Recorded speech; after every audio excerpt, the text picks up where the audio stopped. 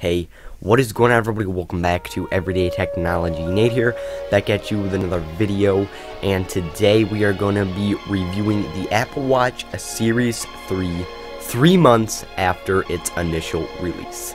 Let's get started.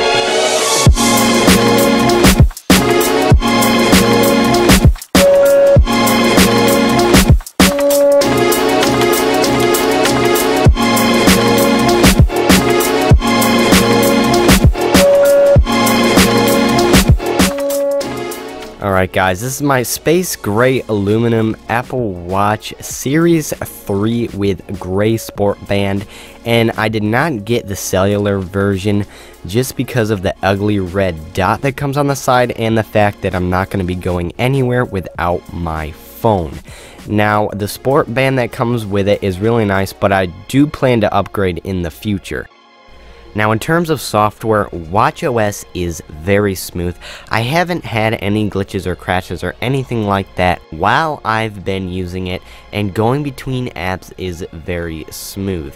I especially love all of the activity apps that come built in with the watch because I do a lot of exercising outside and it really helps me figure out my average heart rate and also how many steps I've taken in a day and things like that. In the workout app, there's a lot of different settings that you can change for what workout you are actually doing, and I really like that about the watch. Overall, watchOS is a very smooth operating software that I personally love. Now in terms of battery life, the Apple Watch packs a punch.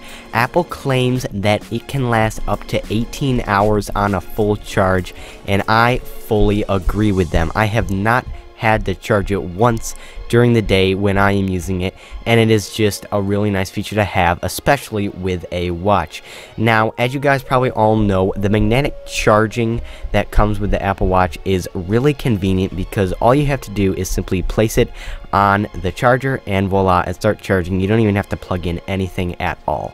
So as you can see, there's a lot of things that I really like about the Apple Watch, but now I have to talk about the things that I'm not too fond of about it. First of all, there is a speaker on the side of the watch, which is used to make phone calls.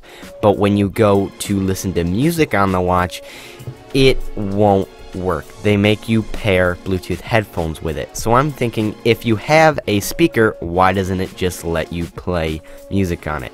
Another thing is is that Siri sometimes is a bit laggy. Hey Siri, is it going to be cold today?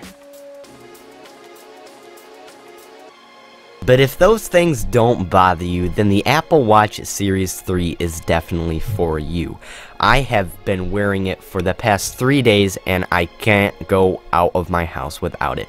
Alright guys, that about wraps up this video. I hope you did enjoy, and if you did, remember to like the video down below and also smash that subscribe button, and I will catch you guys later.